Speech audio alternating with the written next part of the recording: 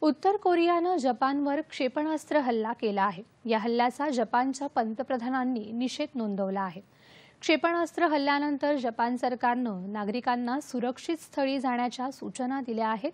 इथं रेल्वे वाहतूकही अनिश्चित काळासाठी बंद ठेवण्यात आली आहे.